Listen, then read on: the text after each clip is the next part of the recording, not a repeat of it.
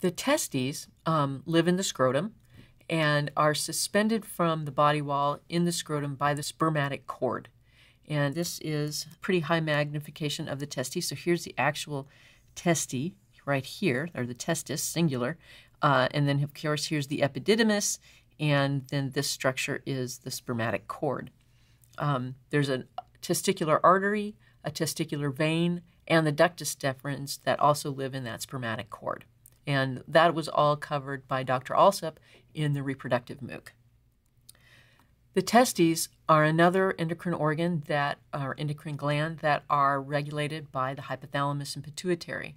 The hypothalamus, again, way up here, secretes gonadotropin releasing hormone. Um, we talked about this with the ovary. So the, the general term for any for the, the hypothalamic because factor is going to be gonadotropin because it has an effect on both gonads, ovaries and testes. So the generic term is gonad.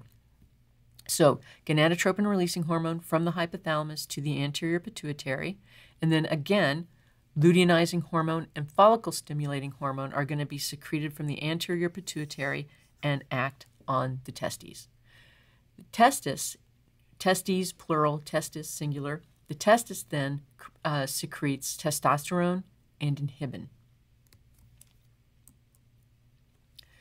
So the follicle st- or luteinizing hormone and follicle stimulating hormone from anterior pituitary that act on the testis. Um, luteinizing hormone stimulates the interstitial cells to secrete testosterone. And you may hear, um, if you have a histology MOOC or if, or if you take a histology course, that the interstitial cells are called the interstitial cells of Leydig. So the Leydig cells are the ones that are going to make testosterone. Follicle stimulating hormone acts on um, the, the testes and um, stimulates uh, spermatogenesis or sperm production. Testosterone is responsible for male secondary sex characteristics and sperm production. So, male secondary sex characteristics include um, a deeper voice, um, an enlargement um, and more prominent uh, thyroid cartilage, uh, increased musculature and strength, usually, more dense and bigger bones, those kinds of things. Uh, oh, and uh, facial hair.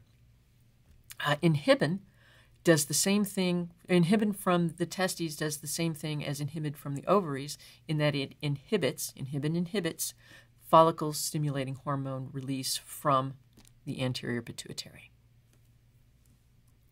So, in summary, what would I'd like you to know about the testes or testis is what hypothalamic releasing factor is related to testicular function, what two hormones are released from the anterior pituitary that act on the testes, and what are the actions of these hormones, and then what hormone or hormones, actually, because there's two, are made in the testes, and then what are, the, are its functions. If you have a grasp on these concepts, then you're ready for the assessment.